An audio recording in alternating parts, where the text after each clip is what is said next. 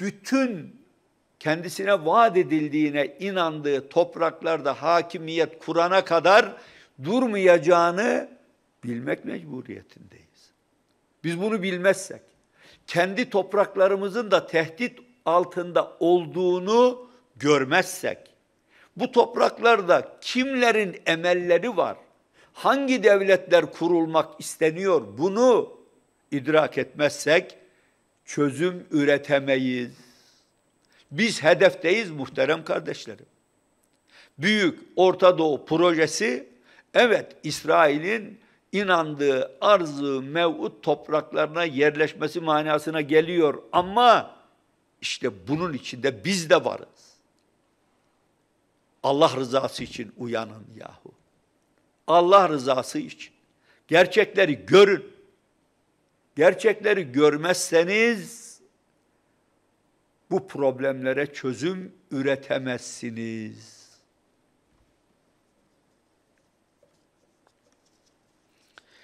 Bundan dolayıdır ki bizim ısrarla üzerinde durduğumuz bir konu var.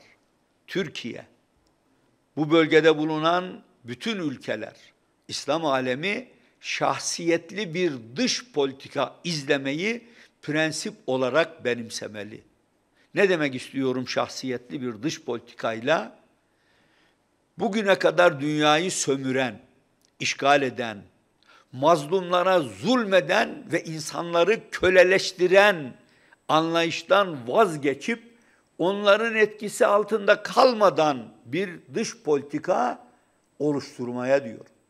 Siz Afrikalıları gemilere doldurup Amerika'ya götürüp önce köle yapacaksınız. Sonra da davul zurnayla biz bunları serbest bıraktık, bıraktık diye dünyaya ne kadar insancıl olduğunuzu anlatmaya çalışacaksınız. Hadi oradan sahtekarlar. Bugün bile bir gerçek var ki Amerika'da kölelik düzeni ortadan kalkmış gözükmesine rağmen hala sürüyor. Birkaç tane kişinin önde gözükmesi, devlet makamlarında görev alabilmesi bunun ortadan kalktığına işaret etmez, etmiyor. Biz takip etmiyoruz. Ama ben elimden geldiği kadar takip etmeye çalışıyorum. Amerika'da her gün onlarca siyahi katlediliyor. Öldürülüyor. Kim tarafından? Polis tarafından genellikle. Bir beyazı gördüklerinde ateş etmekle tereddüt edenler siyahi bir insanı gördüklerinde hiç tereddüde düşmüyor, katletmekle adeta zevk alıyorlar.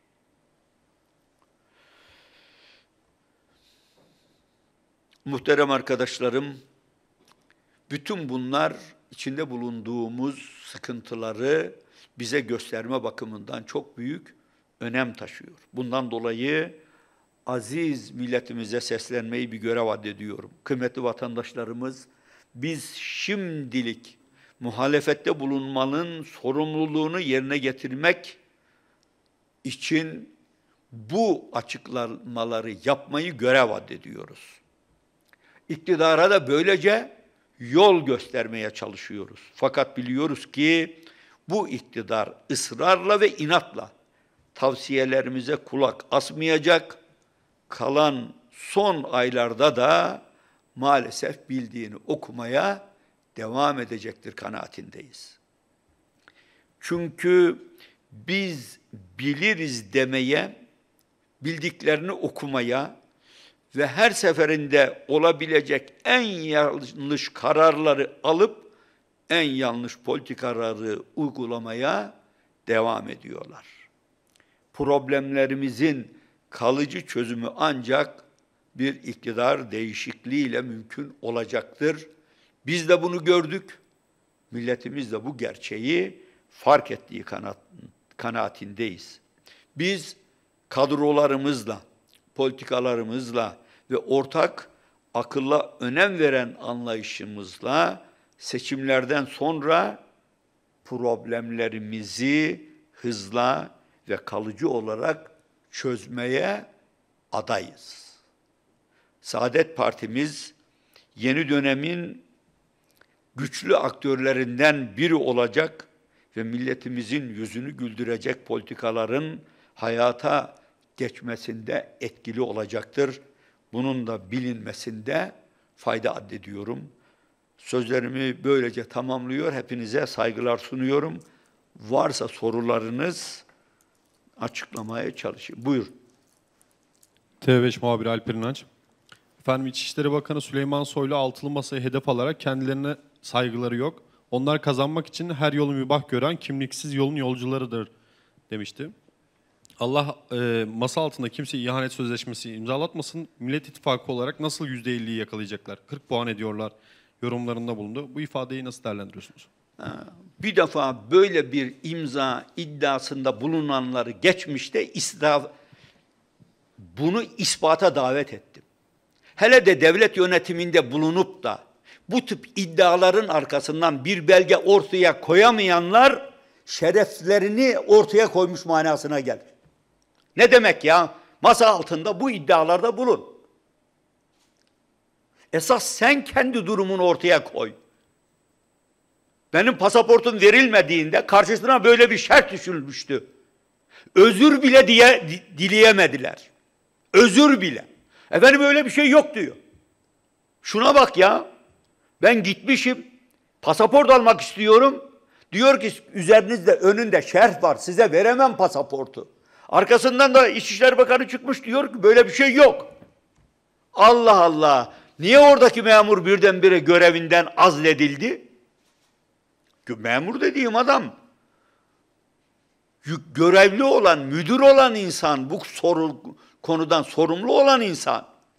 Bu tip iddialar insanın şeref ve haysiyetiyle bağdaşmaz. Yalan söyleyen insanlar şerefsizdir. Belge var diyenler belgeyi ortaya koyamazlarsa şerefsizlik yapmış olurlar. Başka türlü bunun izahı olmaz ya. Siz herkese hakaret edeceksiniz. Bulunduğunuz makamdan dolayı da kendinizi onların üstünde görmeye kalkacaksınız. Bu iddialarda bulunacaksınız. Hadi oradan sahtekarlar. Söyleyeceğimiz bu yalnız dizlerinin titrediğini gösteriyor artık. Çözüm üretemiyorlar. Muhalefetin karşısına bizim söyledik, deminden beri ben iktidara seslenirken hep seslendim. Neyin yanlış, neyin doğru olduğunu söyledim. Benim bu sorularıma cevap üretsinler. Hakaret edeceklerine, yalan, iftira uyduracaklarına. Onun için bu tükendiklerinin işareti. Allah yardımcımız olsun. Onlara yardımcısı olsun demiyorum. Çünkü onlar Cenab-ı Hak'tan yardım dilemekten bile acizler. Yalana, iftiraya başvuranlar Cenab-ı Hakk'a yönelemezler. Bu da bir gerçek. Evet. Efendim İçişleri Bakanı Süleyman Soylu mülteci meselesinde burayı bir kaçak göç merkezi haline getirmek istemiyoruz. Bu da Avrupa'nın bir projesi. Bize gelmesinler, Türkiye'de kalsınlar. Biz senin enayin değiliz ifadelerini kullandı. Bu açıklamayı nasıl değerlendiriyorsunuz? Gülelim mi, ağlayalım mı? Peki de bugüne kadar bu kadar Suriyeli Türkiye'ye niye geldi de Avrupa'ya gitmelerine engel oldu Türkiye? Kaç para aldılar? Yani biz bu gerçeği görmezsek, milletimiz bunu görüyor. Tam bu söylediğinin tersini kendisi yapıyor.